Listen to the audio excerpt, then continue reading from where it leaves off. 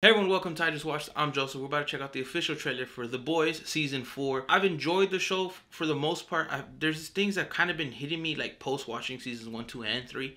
But I don't want to get into that yet. Let's just check this out and we can discuss after. Rome. Greece. All democracies fail because people are fucking stupid.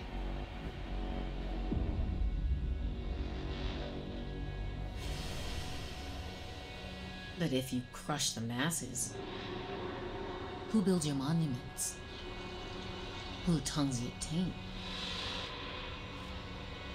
Um, the people will tear it apart themselves. You just gotta nudge them a little. Then you get to swoop in. Your Starlights versus your Homelanders. Like Caesar. Like Caesar. Fuck this kid. Jeffrey Dean Morgan is. Oh, hell Who's the Black Noir? You watch their Or who's the new Black Noir then?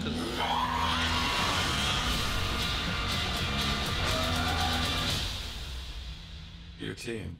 What's your code name again? The boys. Oof. Who came up with that shit?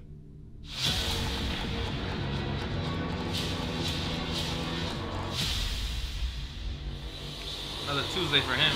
So this trailer does look good. It did its job. I'm interested. I'm kind of reignited because I'm not necessarily falling off because I do enjoy the show, but I think little things and the consistent change, like season three to me was okay, and I was kind of hoping for a bit more greatness. Like there's episodes in season three that are really good, and I haven't really felt that like attachment like I wanted because I like I didn't even care that I knew season four is coming out. I knew I'm gonna watch it, but at the end of season three, yes, like those last few episodes, like oh yeah, but the I don't remember the whole season. It didn't feel very memorable outside of moments. And saying that because I watched Gen V review coming soon, let's say that kind of reignited my. I kind of really excited to see where this goes now, especially that they're like directly correlating. There's not just in the same world. There's a direct attachment between the two. That has me really excited. This looks good. I love Jeffrey Dean Morgan. I'm gonna be honest. So I'm excited and I didn't know he was gonna be in it. So I wanna see where it goes.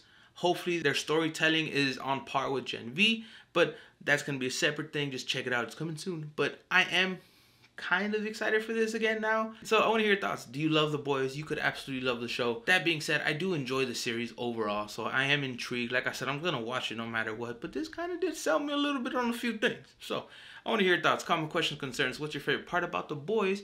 And it's one thing that they changed from the source that you absolutely can't stand. And what's one thing they changed that you absolutely loved? I think what's her face in season two the fact that they gender swapped her, I think, worked perfectly for her story arc, and that was great. That was a change. But want your thoughts, comments, questions, concerns, again, down below. But until next time, stay safe, be well, y con mucho amor. Adios.